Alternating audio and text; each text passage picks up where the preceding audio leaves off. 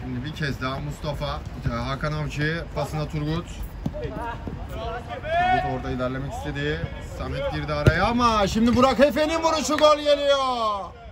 Burak Efe karşılaşmaya 1-1 denge getir.